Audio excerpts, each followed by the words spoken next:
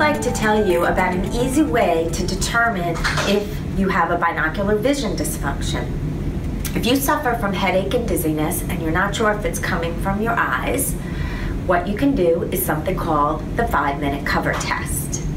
You set a timer for five minutes. You rate your symptoms, zero being nothing, 10 being the worst you ever felt.